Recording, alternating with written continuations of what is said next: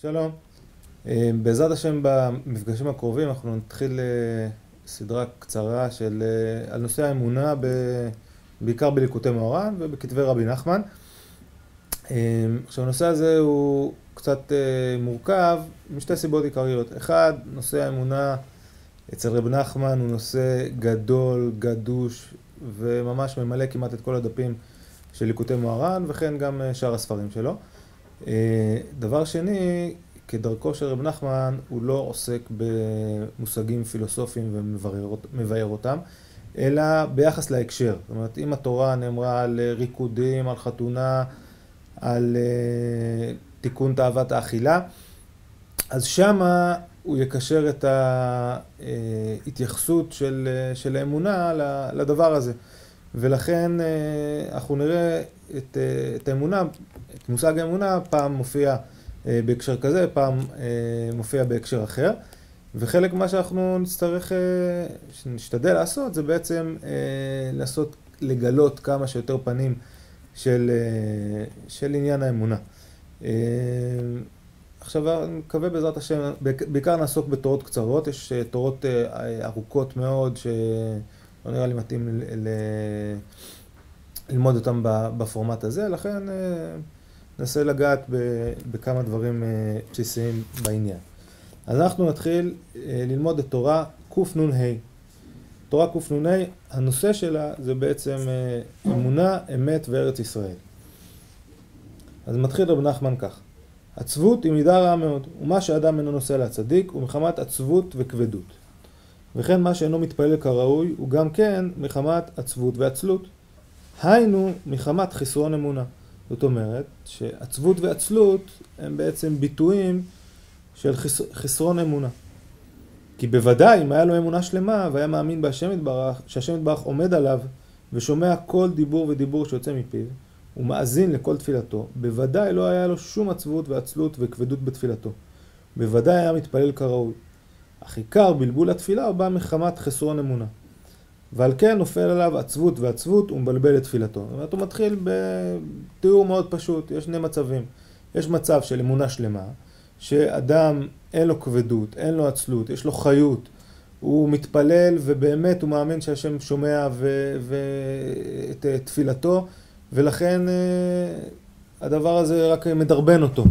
לעומת זאת, כשיש חסרון אמונה, אז אה, התחושה היא שבכלל לא בטוח שהוא שומע והוא מאזין לתפילה שלי ויש ערך לתפילה שלי, או יש ערך לדברים שאני עושה, ולכן הדבר מתבטא בכבדות, בעצלות, בחוסר חיוניות. עכשיו הוא נכנס קצת יותר פנימה. כי עיקר העצבות והעצלות הוא מחמת חסרון אמונה. כמו למשל כשמניחים חיטה בארץ טובה. אזי הוא גדל וצומח יפה ואינו מזיק לו שום רוח ולא זיקים ורעמים. וזה מחמת שיש כוח הצומח וכוח הגודל. על כן אינו מזיק לו שום דבר. אבל כשנותנים החיטה בארץ שאינה טובה לזריעה, אזי הוא נרקב בארץ, מחמת שאין לו כוח הצומח וכוח הגודל. ואמונה היא בחינת כוח הגודל וכוח הצומח. כמו שכתוב, ויהי אומנת הדסה, לשון גידול. כמו שאמרו רבותינו זוכרם לברכה, אמונה זה סדר זרעים. ועל כן כשיש לו אמונה שהיא מבחינת כוח הגודל וכוח הצומח, אזי אין מזיק לו שום דבר, ואינו ירא משום אדם ושום דבר. הוא מתפלל בחיות כראוי ונוסע להצדיק, כי אינו מתיירא ומתפחד משום עניין שבעולם. אבל כשיש חסרון באמונה, אזי אין לו כוח הגודל וכוח הצומח, ואזי הוא נרקב ממש, כמו החיטה הנ"ל. ועל כן יש לו עצבות ועצלות וכבדות, והוא נרקב ממש. זאת אומרת, כאן רב נחמן לוקח לנו משל של אה, זריעת חיטה בארץ. ואת אה, חסרון אמונה, הוא, את המצב של עצבות וכבדות, הוא מתאר במילים די קשות של ריקבון. אדם לוקח את, את החיטה ושם אותה בארץ לא טובה, והיא נרכבת שם. על הריקבון הזה, עצם הריקבון מוליד עצבות וכבדות. עכשיו, בואו ננסה קצת להתבונן במשל הזה של, של חסרון אמונה. מאיפה, מהיכן נובעת העצבות והכבדות? שיש כאן פוטנציאל חיים. חיטה היא פוטנציאל חיים. היא פוטנציאל אה, שיש לה צמיחה. לצאת שיבולת עם גרגירים שמנים ועבים שיעשו ממנה בעזרת השם לחם. אבל כששמים אותה במקום לא טוב, אז היא לא צומחת. היא לא צומחת, אז אין פה, זה מאוד בינארי, אין פה מצב פרווה. אם היא לא צומחת, היא נרכבת. ולכן כשיש כאן ריקבון, אז רב נחמן, אה, יש כאן סוג של מוות. ורב נחמן בעצם משווה בין הריקבון לעצבות ועצלות. זאת אומרת, אדם ש... אה, הולך להתפלל, הולך לעשות משהו, והוא הוא, אין לו כוח, לה, הוא עושה את זה בצורה של uh, כבדות, נובע כי הוא כנראה חש שיש כאן פוטנציאל חיים, אבל כיוון שהוא לא ממומש, כיוון שהוא uh, uh, לא מצליח לבוא לידי ביטוי, אז הוא חש ריקבון, הוא חש הפסד, הוא חש תחושה של מוות קטן. ולכן גם uh, הדבר הזה מתמשך ו- ואין לו כוח והוא נגרר ל- לעוד עצבויות ולעוד כבדויות וכולי. לעומת זאת, אמונה היא חוויה, או איך שהוא מגדיר אותה, אמונה היא כוח הצומח וכוח הגודל. זאת אומרת, כאשר לוקחים את פוטנציאל החיים הזה, החיטה, ומחברים אותה לאדמה, ואדמה טובה, היא מצמיחה ומגדלת. כשאדמה מצמיחה ומגדלת, אז אדם לא צריך כל מיני אה, אישורים חיצוניים, הוא מרגיש שהוא במקום, הוא מרגיש שהוא בכיוון, הוא מרגיש שהוא צומח וגודל, ו, וזו בעצם האמונה. האמונה היא כוח הצומח וכוח הגודל. עכשיו, נחמן לוקח את זה ומקשר לנו, מחבר לנו בין אמונה לאריכות אפיים. וזה בחינת ערך אפיים. היינו מה שאינו ירא משום דבר. ואינו משגיח על שום ביטול ובלבול בעבודתו. רק עושה את שנו, זה בחינת ערך אפיים. שאין שום דבר יכול לבלבל אותו. כי לא אכפת לשום דבר, רק עושה את שלו בעבודתו את השם יתברך. כי ערך אפיים הוא תלוי בבחינת אמונה. כי כל זמן שיש עבודה זרה בעולם, חרון אף בעולם. אבל על ידי האמונה, שהוא הפך עבודה זרה, נתבטל אחרון אף וזוכין לאריכות אפיים, שהיא הפך אחרון אף. היינו שזוכה על ידי אמונה לאריכות אפיים, שיאריך אפו על כל דבר בלבול ומניעה שעובר עליו בתפילתו ועבודתו, שיסבול הכל ולא יתעצב ולא יתעצל על ידי זה כלל. רק יעצור רוחו ולא יכפת לכלל, ויעשה את שלו בעבודתו. ויעבור על הכל ולא יחוש על כל הבלבולים והמניעות. זאת אומרת, או נגיד ככה, שכאן אה, פתאום השפה קצת משתנה. זאת אומרת, לפני זה אמרנו אמונה בשלמות, שאין בה חסרון אמונה, זה כשהוא מתפלל והוא, אה, יש לו חיות, והוא אה, מאמין שהשם שומע תפילתו ומאזין לו, ואין לו בכלל בלבולים. אבל פה אומר רב נחמן משהו קצת אחר. הוא אומר שאמונה היא בחינת אריכות אפיים, שהוא לא חש לטרדות והבלבולים. זאת אומרת, הוא לא מתפעל מהם. זאת אומרת, כן יש טרדות ובלבולים, כן לא כל הזמן מצליחים, אבל אה, בכל זאת אדם יודע שהוא, שהוא בדרך, שהוא בכיוון, שזה רק אה, מכה קלה בכנף ו, וסך הכל הוא בכיוון של צמיחה והתפתחות ולכן, אה, וזה נובע מ, מ, מכוח, מכוח אריכות אפיו. עכשיו, עוד אמרנו רב נחמן שההפך מאריכות אפיים היא חרון אף. מהו חרון אף? אומר כל זמן שיש עבודה זרה בעולם, יש חרון אף בעולם. אז בתורות אחרות, שאולי אנחנו נראה אותן בהמשך, אה, מסביר רב נחמן שעבודה זרה בעצם היא תלות של אה, התניות של סיבה ומסובב. זאת אומרת, אה, כאשר אני רוצה משהו, אז כן, יש לי איזושהי הבנה שאם אני אעשה כך וכך, אז אני אשיג את המשהו הזה. והכך וכך, וה, והמשהו שאני רוצה להשיג אותו, בזה הוא תלוי, בהתניות הללו. אומר רב נחמן, זה עבודה זרה. זאת אומרת, כל התפיסה הזאת של סיבה ומסובב, שיש אה, אה, רק דרך אחת שבה פועלים הדברים, וככה מצליחים, אז בעצם זה מה שמקנה לי את חוויית, ה, את חוויית הצמיחה שלי, את, ה, את, אה, את חוויית ההצלחה שלי. ו... ולכן זה עבודה זרה, כי בעצם אתה הופך להיות לאט לאט משועבד לדרכי הפעולה האלו, ולאט לאט משועבד לצורת ההתנהגות הזאת.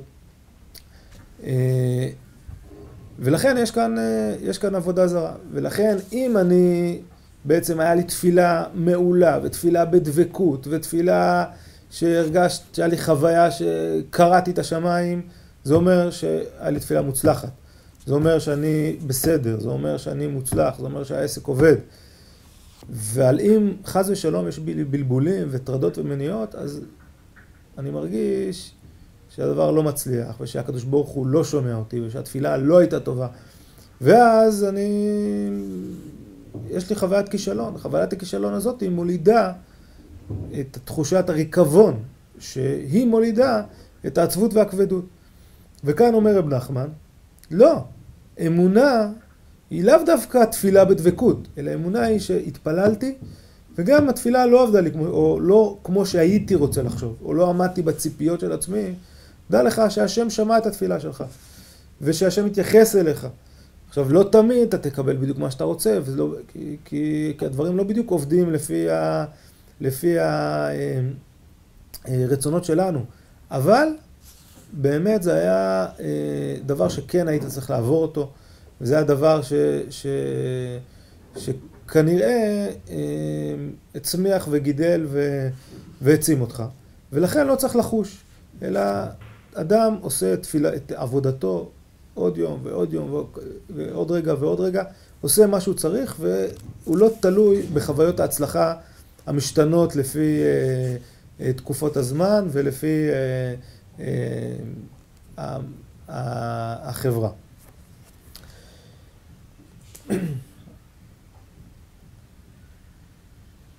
עכשיו, איך זוכים למצב הזה של אריכות אפיים? שאריכות אפיים, כמו שאמרנו, לא להתבלבל ו... ולא ל...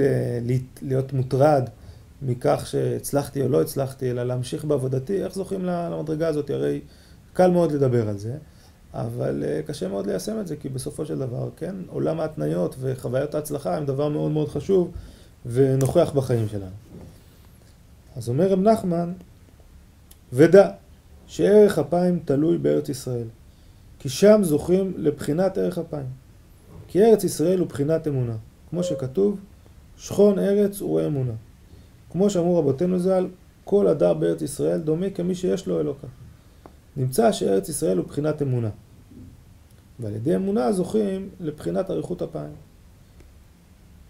אז אומר לנו רב נחמן, קודם כל הוא מצטט לנו פסוק שהוא אוהב מאוד מאוד מאוד לצטט אותו בהרבה מאוד מקומות. יש, או נגיד ככה, יש שתי פסוקים מאוד מרכזיים בתורות, בתורות אמונה. פסוק הראשון זה ויהיו ידיו אמונה, על משה במלחמת עמלק. פסוק השני, שמצוטט, שרב נחמן מביא אותו הרבה פעמים, על פרק ל"ז בתהילים, ששם אה, פרק אומר לדוד, אל תתחר במרעים, אל תקנא ועושה עוולה, אלא מה כן? בטח בהשם, שכון ארץ וראה אמונה. שפשט הפרק אומר, שאדם מסתכל ימינה ומסתכל שמאלה, אומר, מה זאת אומרת, הרשעים מצליחים, הם הולך להם, הם... אה, אז אל תקנא בהם, אל תתחרה בהם, אל תתייחס אליהם בכלל. זאת אומרת, עצם זה שאתה מייחס את חוויית ההצלחה או אי ההצלחה שלך אה, למישור ההצלחה של האנשים שאינם הולכים בדרך השם, אז אה, כבר כאן יש פה איזושהי בעיה. או כבר זה, רב נחמן יגיד לנו, זה בחינת עבודה זרה. מהי הדרך של ארץ ישראל? הדרך של ארץ ישראל היא שכון ארץ ורע אמונה. בטח בהשם שכון ארץ ורע אמונה. זאת אומרת, שאדם אה, ימשיך בעבודתו וידע שהקדוש ברוך הוא אה, רואה אותו ויישב את עצמו. אה, ומכאן הוא בעצם יצמח. אז אומר רב נחמן, זה תלוי בבחינת ארץ ישראל. שארץ ישראל היא באמת אינה תלויה, ב... או אין, היא ארץ נטולת עבודה זרה, אלא היא תלויה ישר בקשר לקדוש ברוך הוא. לא בעבודה דרך המלאכים או דרך אה, כל מיני מתווכים. ואז הוא אומר ככה, ועיקר גודל השתוקקות והתלהבות של משה רבנו עליו השלום, שהיה מתלהב לארץ ישראל כל כך, היה רק בשביל מידה זאת של עריכת אפיים. מחמת שראה שם, ששם בארץ ישראל זוכים לבחינת ערך אפיים. וזה שאמרו רבותינו ז"ל, וימהר משה ויקוד ארצה וישתחו. מה ראה? ערך אפיים ראה. כי מחמת שראה בחינת ערך אפיים שהוא תלוי בארץ ישראל, על כן ויקוד ארצה שהיה ליבו בוער לארץ ישראל כדי לזכות לאריכות אפיים. זה שאמרו שם, ואחד אמר אמת רעה, מר אמר חדה, ומר אמר חדה ולא פליגי. כי ארץ ישראל הוא בחינת אמת, כמובן מקום אחר. מסיק שם בגמרא, שמע מיני ערך אפיים רע, כי עיקר הוא בחינת אריכות אפיים כנ"ל. אז כדי להבין את זה, כן, אני רוצה, אני חושב ש... הרי רב נחמן מקשר את, אה, את המדרש הזה של אה, ויקוד ארצה וישתחו לבחינת ארץ ישראל. אז כדי להבין את ההקשר הזה ואיך רב נחמן אה, קורא את זה, אז אה, בואו נפתח את המקור שאליו הוא מפנה בסנהדרין אה, עמוד קי"א, דף קי"א עמוד א', אומר, אומרת הגמרא ככה, תניא, אמר רבי אלעזר ברבי יוסי, פעם אחת נכנסתי לאלכסנדריה של מצרים, מצאתי זקן אחד, ואמר לי בוא ואראך מה עשו אבותיי לאבותיך, מהם טבעו בים, מהם הרגו בחרב, מהם האחו בבניין, ועל דבר זה נענש משה רבנו, שנאמר, ומאז באתי אל פרעה לדבר את בשבילך הרע לעם הזה, הרע לעם הזה, סליחה. מאז באתי אל פרעה לדבר בשמך, הרע לעם הזה. אמר לו הקדוש ברוך הוא, חבל על דאבדין ולא משתכחין. הרי כמה פעמים נגליתי על אברהם, יצחק ויעקב, באל שדי, ולא הראו על מידותיי, ולא אמרו לי מה שמך. אמרתי לאברהם, קום התהלך בארץ לאורכה ולרוחבה, כי לך אתננה, ביקש מקום לקבור את שרה ולא מצא עד שקנה בארבע מאות שקל כסף, ולא ערער למידותיי. אמרתי ליצחק, גור בארץ הזאת ואהיה עמך ואברכך, ביקשו עבדיו מים לשתות ולא מצאו עד שעשו מריבה. שנאמר, ויריבו רועי גרר עם רועי יצחק, לאמור לנו המים ולא ערער אחר מידותיו. אמרתי ליעקב, הארץ אשר אתה שוכב עליה. לך אתננה, ביקש מקום לנטוע לו ולא מצא עד שקנה בימי הקישתא. קשיטה. אה, ולא יראה אחרי מידותיי. ולא אמרו לי מה שמך, ואתה אמרת לי מה שמך בתחילה, ועכשיו אתה אומר לי והצל לא הצלת את עמך, אתה תראה את אשר עשה לפרעה במלחמת פרעה אתה רואה, ואתה רואה במלחמת 31 מלכים. זאת אומרת, הסיפור הוא שחז"ל אה, מבקרים את משה רבנו, ומשה רבנו נשלח על ידי אה, השם לדבר עם פרעה. והוא מצפה לתוצאות מיידיות. זאת אומרת שמיד, אה, למרות שהשם אמר לו שזה לא יקרה ככה, מיד, אם לא תכבד, אם לא תהיה גאולה שלמה, לפחות יהיה סימנים של גאולה בדרך.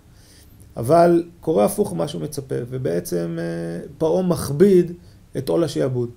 אז הוא בא לקדוש ברוך הוא ואומר לו, ואתה, מאז שבאתי לדבר בשבילך, הראה לעם הזה, איך הדברים האלה יכולים לקרות? אז אומרים לנו חז"ל, שכביכול הקדוש ברוך הוא משווה בין משה לאברהם, יצחק ויעקב. שאברהם, יצחק ויעקב, למרות שהם הסתובבו פה, הארץ, הסתובבו בארץ ישראל, והארץ הובטחה להם, וכל הזמן נאמר להם שהארץ שייכת להם, והם יזכו בה וירשו אותה, למרות זאת, הם רק היו גרים בארץ, הם אפילו לא היו אזרחים בארץ.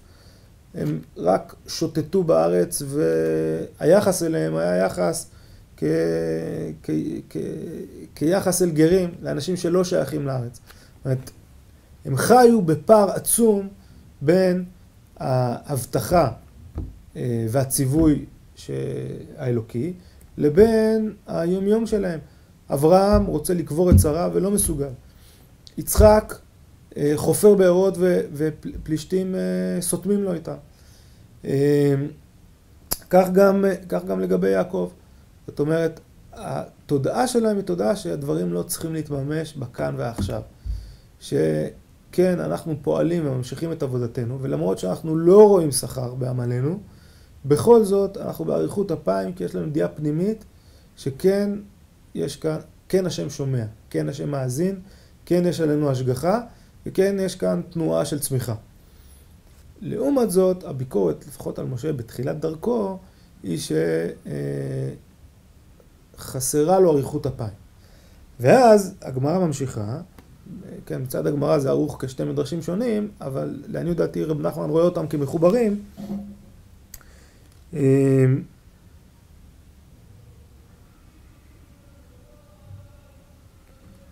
כן, וימהר משה, ויקוד ארצה וישתחו, מה ראה? מה ראה משה?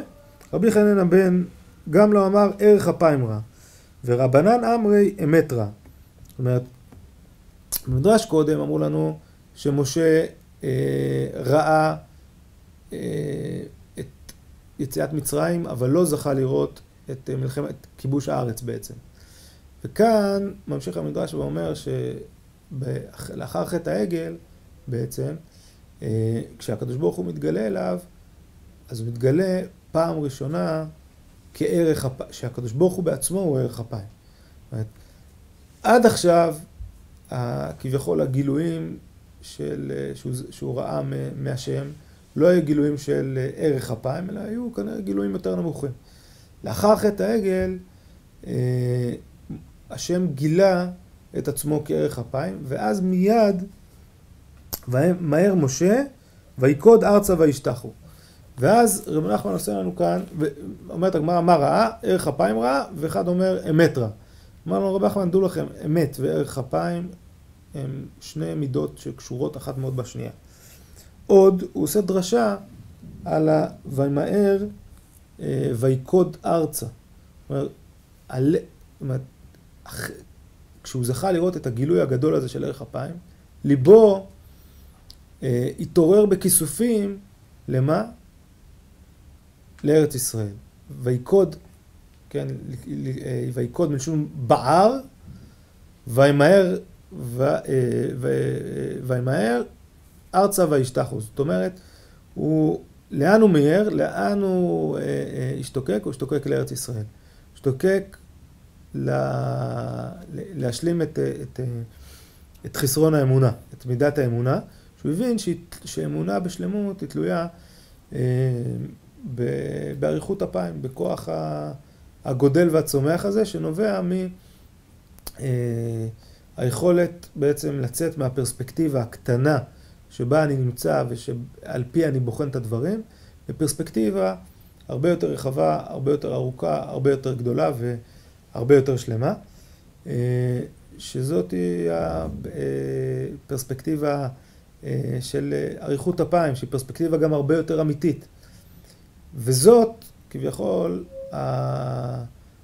המידה של, אה, של ארץ ישראל. בעזרת השם, בשבוע הבא אנחנו קצת נרחיב את העניין הזה, מה, מה ההבדל בין ארץ ישראל לשאר הארצות, ו, ואיך זה מתקשר לנו ל, ל, לאמונה על ידי עוד, עוד כמה תורות אחרות, בעזרת השם. אה, זהו, כל טוב.